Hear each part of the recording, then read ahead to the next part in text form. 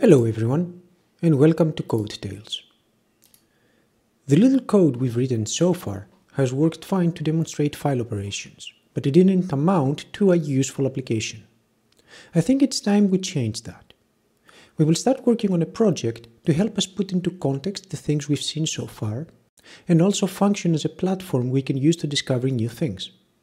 Something that is simple enough so it doesn't require a lot of knowledge about system internals to get started, but can be rich enough to lead us to new and interesting directions. And I think I have just the thing. A text editor. Everyone has experience with a text editor, so we don't need to spend time understanding what it's supposed to do. It edits text. But this is our text editor, so we can make it exactly the way that we want it.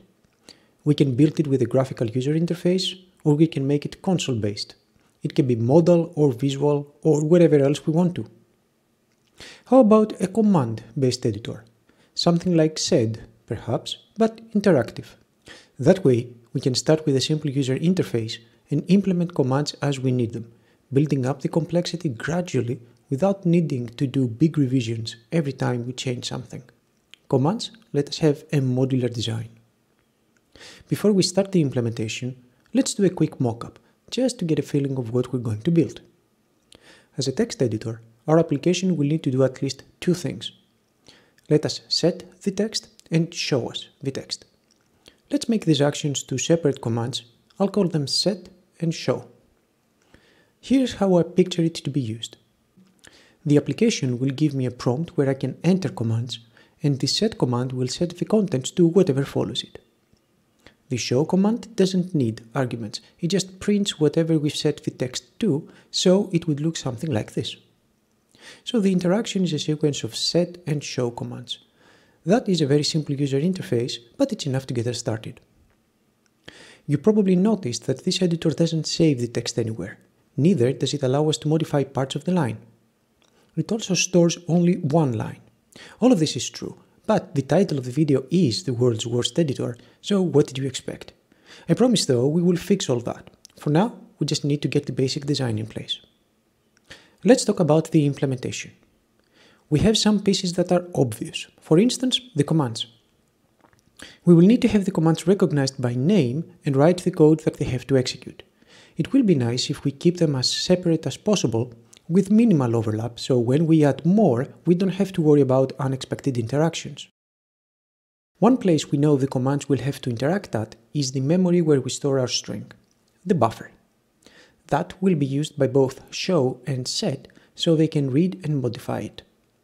It makes sense to think of it as a separate component, functioning as the shared state in the application.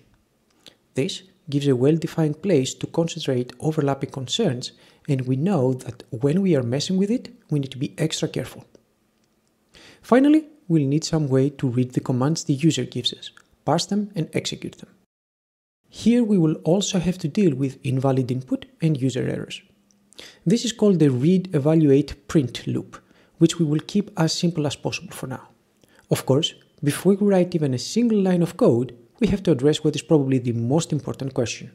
What shall we call our project?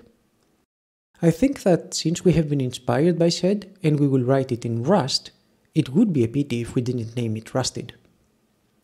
With the basic pieces identified, we can start writing code. Some parts are really easy to spot. The commands are straightforward to implement as an enum, one member per command, with the set command accepting an argument for the value it will use. Let's set that aside. For the buffer, we have many options, but right now we don't need anything more complicated than a string. Strings in Rust are backed by a vector of bytes and allow us to read and modify that area of memory. Since we are only looking at character strings for the moment, that should work just fine. We will hide it behind a struct, though, so we can more easily change things in the future. For example, when we implement opening and saving to files, we can add our file handles there but the commands that don't care about files can continue using the rusted data struct only to access the buffer. That's the benefit of modular design that I mentioned earlier. We are just doing some basic software engineering here, keeping logic and state separate. Nothing extraordinary. Next, let's look at the implementation of commands. I will implement this as a method called dispatch that accepts the command that was read from the REPL loop and the rusted data state they will act on. A match block fits very nicely here, with each matching arm containing the logic of a command. This is effectively our logic acting on the program state. The set command carries its arguments already, so it will take it and put it in the buffer exactly like it's supposed to. The show command will take the buffer and print it on the console. The most complicated part of the application is the REPL loop, so let's do that next. I will split it in three parts, reading the user input, parsing it, and using it. The first part is simple. We print out the prompt, then flush standard out because it gets flushed automatically only when we print a new line. And here we don't do that. Those two lines alone, by the way, could be a video on their own, since this behavior is the result of standard out being buffered.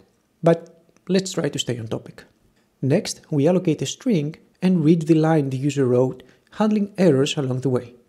Once we get the user line, we need to parse it. In our two-command grammar, commands always come first in the user input. Then, they may optionally be followed by a space and then their arguments.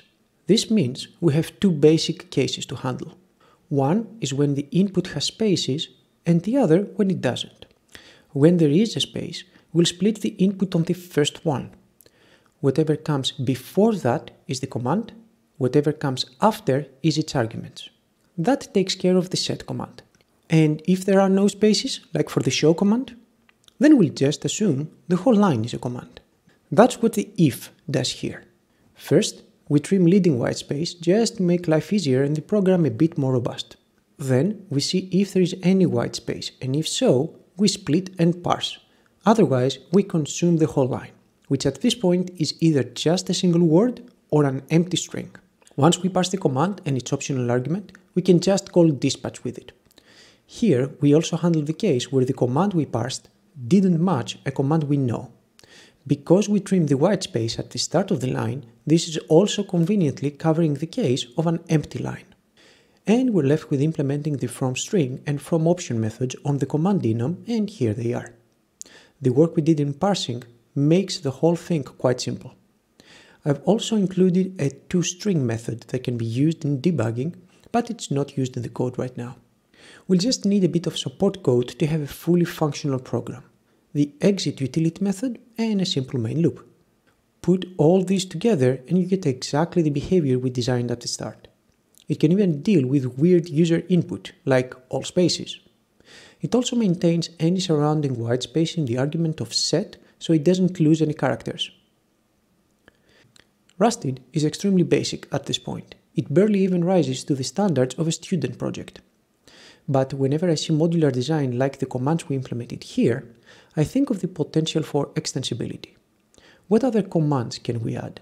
And what interactions do they require? How far can we push the design before it breaks and how do we fix that? We have a few obvious gaps we need to fill. Save and load from files stands out and it would be nice if we could edit the line we've set. In the next video we'll implement some of these and start getting a better design in place. What would you do differently here? What commands would you implement next? Write your ideas in the comments and of course subscribe so you can see how our small program evolves. I hope you found this interesting and I will see you next time. Thank you for watching.